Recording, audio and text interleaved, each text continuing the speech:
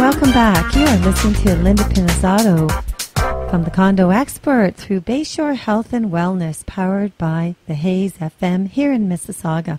You know, we're actually talking a bit of health and wellness because if we think about the development of our children, and we think about Youth Day in Toronto, and we have Tylaine Duggan on the line, and we're discussing all the different benefits and positive exposure that these children get from being a part of Youth Day, which is actually at Dundas Square.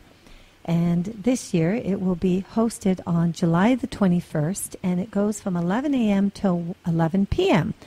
So, you know, Tylaine, I mean, that's a really important point. I mean, all of these children, they will start meeting all the other children and youth and so on that are involved in the arts they've got to develop long-term friendships because they have a common denominator. Oh, absolutely, Linda. I mean, it literally becomes their external family, and they keep in touch year after year with people they might have performed before or maybe after or they met at the press conference. It really it's hi, nice to see you again this year type of feeling.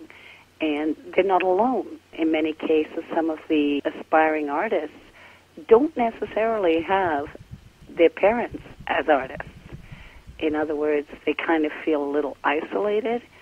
They're not getting particular guidance because the parents just don't know. They're not a singer. And it's beautiful to watch these kids interact with each other, say, hey, you know, if you want to do that, I've got a guy over here and he does that. And all of a sudden, you know, it, helps them, again, create a focus on their vocation or their interest or their focus. And that's what we want to do with our youth. You know, let's let them know if you put in the hard work, you can succeed. And that's why the headliners come out to let them know, hey, I was raised in Rexdale, and you know, my name is Cardinal Offishall, and look at me. Well, it you know, that's really a... has, yeah, it really has no circumstance and shouldn't, based on the family's ability. Well, the thing is, is too, you mentioned family's ability. You see, from what I'm understanding, I mean, most of the performers in Youth Day are not children or youth that have the ability or the financial monies that would be able to get them any type of professional instructions. It's not like they're, you know, they're able to, mom and dad has the cash or just, you know, single moms, single dads are going on here. I mean, you know, to some degree, children that have not been exposed to all of these high quality kind of benefits of you well, know, being involved in music schools and so on. We're talking I, I about raw talent to some I degree. have to thank not only scouts that come out, but also people like, uh, for example, Zack Werner from Canadian Idol, judge. He runs the Idol School of Music. He has offered free classes to, you know, the diamonds in the rough, if you want to call them that. They certainly have the talent and the ability, but perhaps financially, as you say, they can't go forward. But people will step up and try and help these kids, and that's what we want to see is people stepping up, sharing their talent. If you happen to be good at something or your career is in something, please help us out here. You know, we're all trying to work for the benefit of everyone in the city of Toronto and help our next generation. Oh, share the talents. I love it. I think that's it. Have a separate thing of sharing the talent. You know, because there is. There's an awful lot of people out there that can provide, you know, these expert coaching and all these things that they've been involved in. And, you know, the arts is a love. It's no different from people that love hockey or love football or soccer or racing cars or whether they love music, they love, as you said, the ballet side or jazz or whatever. It's a love, you know, it's in your heart. And a lot of the children, I think if they're, they're up there and they're, they're singing through their heart, but they haven't had the direction. I'm just absolutely amazed because honestly, I I wish I had that kind of talent. yeah, I really did. I was born as an athlete. Athleticism comes incredibly say, I could, easy. I could take you out for karaoke, Linda. and let's see microphone. if you have it. we'll talk to. Well, actually, it's kind of funny. I shouldn't. I should remember one thing because, believe it or not, when I was 15, I was in a I was I was actually in a a group. There was three of us, and we used to go around to. We actually went to the Don Jail. yeah, we didn't have any coaching or anything. We just all pretty much hung out and were singing and so on. I can sing quite well. I just can't play any instruments. so we'll I'll have to do it on your show one day. But I won't qualify because you see, I have to admit I'm over 29. We'll just have you do it on your show one day, Linda, for your audience. there you go, right? And but you know, and we used to with our church, we used to go out to like the Don, uh, the Don mm-hmm. Jail. Yeah. And I remember, and we had one friend of mine actually, and he used to play the harmonica. Does that not bring back? and we're going back now. I don't think there's very many harmonica players nowadays, but yeah. And I will tell you, even though we were there, I mean, really, if I think back at it, it was pretty crazy. You think about it, we're there singing to the inmates at the Don Jail. Is that crazy? This and, is, and going back you know, you just mentioned ago. the harmonica, Linda. Yes. There's another segment. We don't want to die out but I don't see young people playing harmonica or the accordion.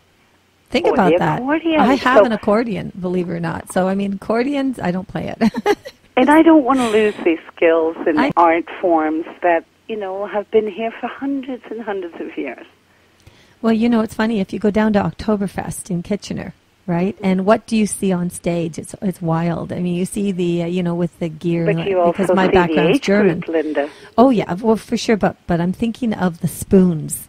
You know where there's yeah yeah the spoons right uh, exactly we all remember right that the the Bavarian you know the Bavarian type of style of music but I guess the point I'm trying to get across here is, is that music is enjoyed culturally all over the world all over the country and yeah you know, and, bringing and this together is types, awesome. All types. Yes. I mean, I'm sure if Justin Bieber was to play spoons in his video, it would be hot again. well, you know, putting that out there, geez, why not? Justin Bieber, I mean, he, Bieber is Canadian. I mean, yes, honestly, so if he's in town that weekend, I think he should be going to see Youth Day. you know, just make an appearance.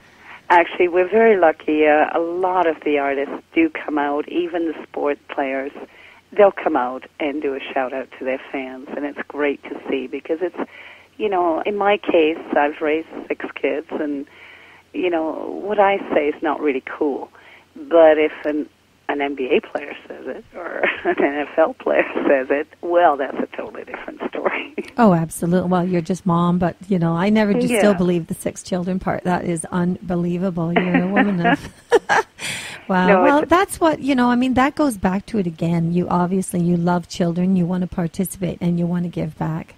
I'd like know? us to drive their positive behaviors, and it's up to us to do that. And we need to do it together. We can't just depend on teachers and government. We need to do this, much as the saying says, it takes a village. And if we want to improve the city of Toronto and encourage our youth, then we have to engage them. So let's at least applaud them at Youth Day on July 21st because it makes a whole lot of difference in their life. It's ever life changing for them.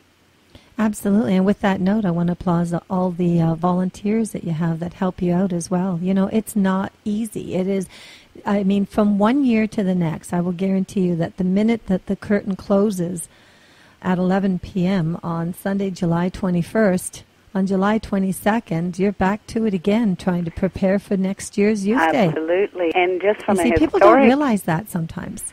Well, from a historic standpoint, too, Linda, I mean, when we started in 2007, I really did not know what Youth Day was going to look like. I just called it. And we had 5,000 people already. And that was with no sponsorship whatsoever. I thank Nathan Phillips Square and the City of Toronto for that. But it's now ballooned to 30,000 people in just seven years. And again, again, we are an event of municipal significance. And I just want your audience to realize what this does, not only for the kids themselves, also their parents that are now secure that their kid has a focus, a passion, a new passion, and they're practicing hard, but also for all of us who live in Toronto because if we can just get these kids to redirect their energy, and needless to say, I picked stuff I knew they'd like music, dance, art, and photography. That's the key. Let's give them what they want, and you know, let's applaud them. you know, it's sometimes I really like, you know, it's funny because when you're a volunteer and or a creator and a founder, I think that, you know, sometimes we look at things differently. You know, I enjoyed being part of Youth Day and being the chair, past year, of celebrations of youth. I mean, I was working with you there for, I guess it was about three and a half years Mm-hmm. until the Condo Owners Association came into my mind. And it was a very tough decision for me because I, you know, I really enjoyed being a part of your entire venue there because I think it's so incredibly important.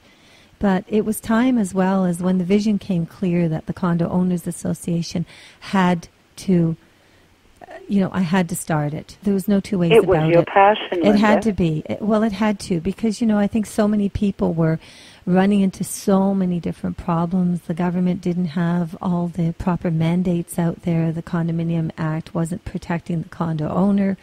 You know, values, although we've had an increase in values, and not all the buildings. Some buildings are actually having financial problems because they don't have enough in their reserve funds and they don't have enough in their operating budgets and their maintenance fees are too high and there's no governance and there's no accountability.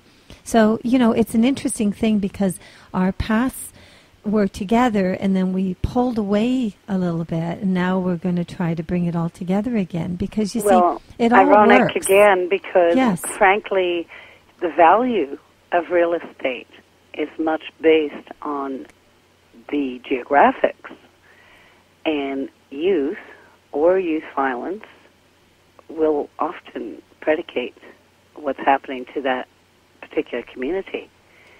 So let's end this nonsense of, you know, it's senseless violence. It's had a particular effect not only on on the reputation of the city of Toronto, Toronto the good, but it's also had a reflection on real estate pricing, for example, in certain areas in Toronto. So let's turn that around and get these kids into something where at least that gets alleviated, and then real estate prices can be where they should be. Well, exactly. You know, because that impact, I mean, the gangs, you know, out in certain areas. I mean, we read about them out in Scarborough and so on. And, you know, we have condominiums all over the province.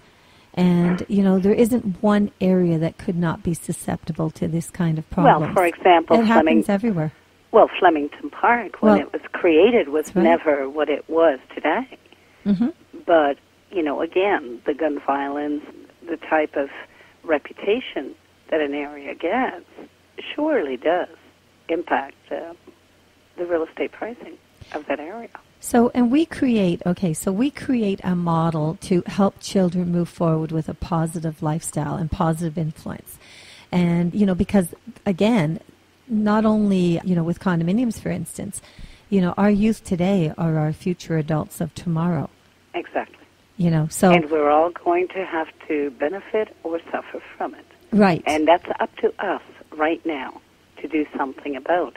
And Linda, if I may introduce, um, I'd love your listeners to to know that um, I've, in my spare time, created another concept called the tie card, which goes very much in keeping with what we just spoke about in communities. Tie card is much like an air miles card, if you will. And we're going to, we're going to go right into the tie card, but we just have to break. Okay. Linda Pinizzotto at the Hayes FM through Bayshore Health and Wellness. And you're listening to The Condo Expert. We'll be right back to talk more about the tie card.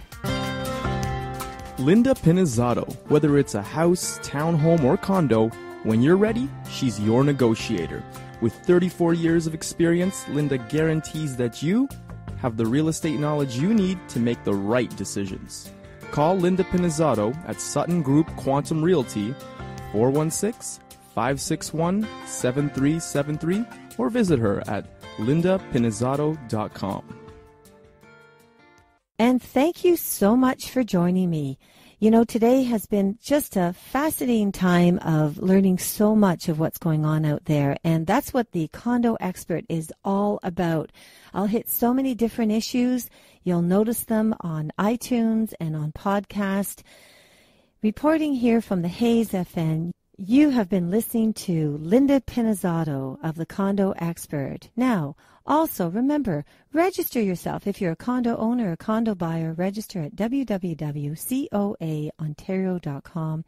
And also, if you've got questions, whether they're real estate related or condominium or property values, this and that, you know, I wouldn't have the uh, information I have had I not had the experience that I've received, and I certainly wouldn't have been able to start the Condo Owners Association without having this kind of a background. So contact me at Linda Pinizzotto, P I N I Z Z O T T O, at coaontario.com or linda at lindapinizzotto.com. Until the next time, have a fantastic day and thank you so much for tuning in.